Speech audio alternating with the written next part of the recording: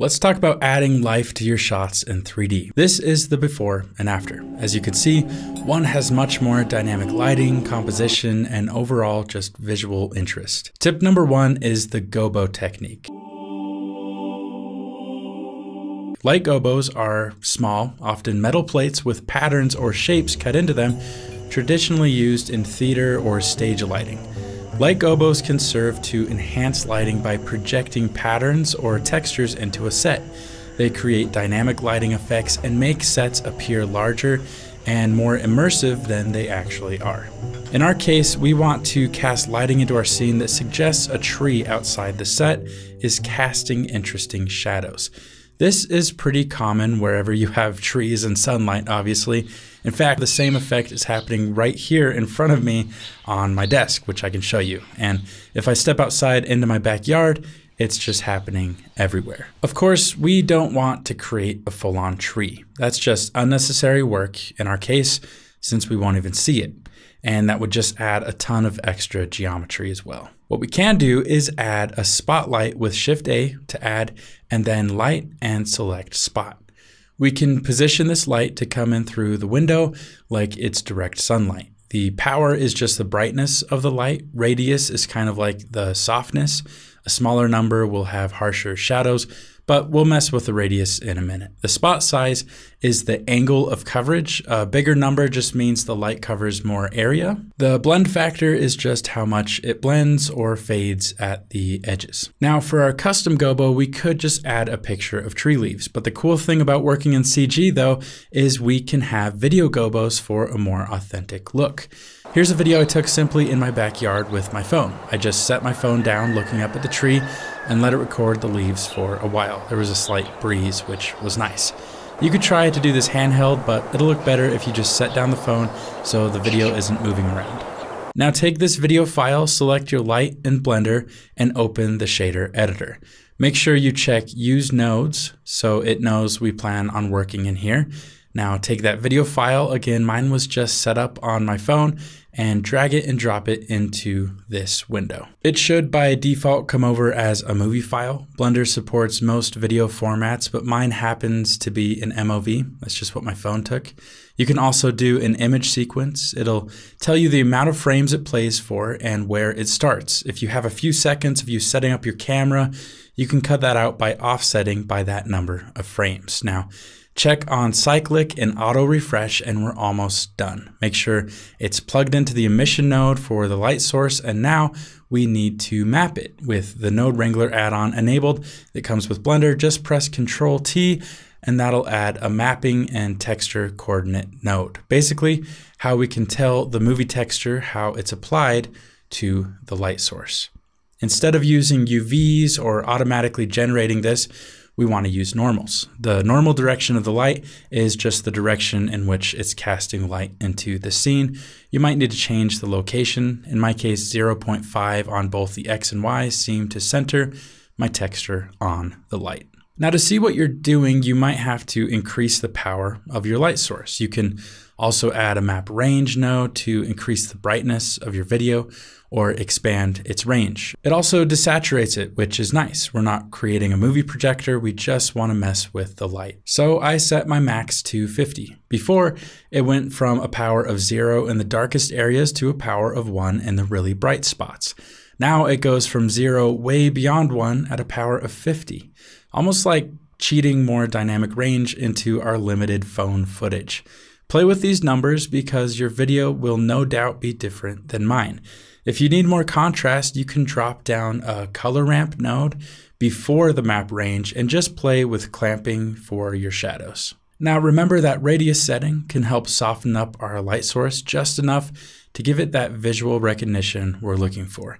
In my scene with my video, a value of around 0.02 to 0.03 meters seemed to work pretty well. Now, when we render a sequence, we get this awesome lighting effect. Okay, so that's it for tip number one. Our next one is all about camera operation. Too many times I see a beautiful scene and it looks like this. Hundreds of frames, but every one of them looks essentially the same. It's just wasted render time. Let's talk about two types of camera motion intentional and unintentional. Intentional camera movement is orchestrated movement. In 3D, you are the camera operator. The good news is instead of forking out thousands of dollars for Steadicam rigs and dollies and cranes, you have it all in Blender by default. Just go up to Edit Preferences and in your add-ons, search for Camera Rigs. This, like many add-ons, comes with Blender. What you get is a few new options when you add a camera, a dolly camera, and a crane. Both camera systems come with a set of controls. Let's start with the dolly. To enter the controls, just select them and press Control Tab which goes into pose mode. I'll split my view into two. On the right side, you see my full scene through the view of my camera, and on the left, it's just my 3D viewport where I'm playing with the controls. This first control is where the camera is aimed. This is really handy because we can move the camera as if it were on a dolly track, but we can maintain a point of focus. In this case, the burger on the table. Now this other handle is the actual camera control. The one at the base here just moves the entire rig for further customization. So if I aim at the burger and go to frame one and keyframe the control's position, then go to the last frame and keyframe a new position, it'll look something like this.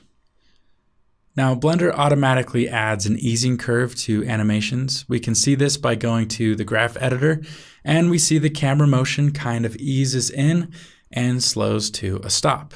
Now, it's certainly possible for a human camera operator to do this, but something a little more common for this type of movement, in my opinion, might be a constant motion, as if we're cutting to a shot that's already moving. So to set that, just select everything with A and in the graph editor, right click and under interpolation, set it to linear. Now that movement is constant, it's subtle, and it looks like this. Again, compare this to before. Crane rig is very similar, but it gives us two additional controls. These arms aren't meant to be moved with their location, but instead you can keyframe their scale. Some pretty interesting results here, and I encourage you to play around with both of these. Keep in mind real practical camera operators and see if there are some tips from their craft in the real world that you can learn from. This next tip, number three, is all about unintentional camera motion. I love this free tool by Ian Hubert and Nathan Vegdahl. It's called Camera Shakify, and I'll link it in the description. Amazingly, like I said, it's free, and what it'll do is add an extra set of options in your camera settings, even cameras you already have hooked up to a rig, like these rigs that we have. You just hit the plus button in your camera options here and choose from a menu of different types of camera shake and adjust the influence, scale, and speed. With a lot of these, unless you're in an intense situation, you might end up just turning that influence down.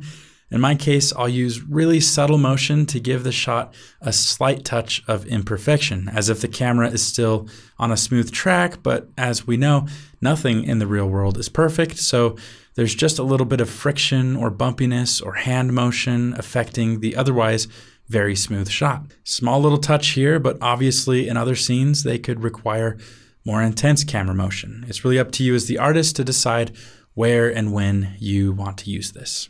That's it for the three tips. As a bonus tip, I parented a spotlight to a plane and animated the plane as if it was a door kind of swinging open and slowly closing shut. Uh, the spotlight just has a noise texture. It's so subtle, but it kind of mimics the bright sun reflection that you might see shooting across a room when like a glass door is opened. I didn't have to texture the door or anything like that because again, it's off camera. But as you can see, it communicates to the viewer that something is happening in the scene and ultimately can help bring it to life. It's fun to play around with light, and there are so many things that I'm sure you'll come up with that I haven't even thought about. For a detailed, uncut look at how I modeled both the straight and curved seating in the scene, check out my website, offworlddepot.com.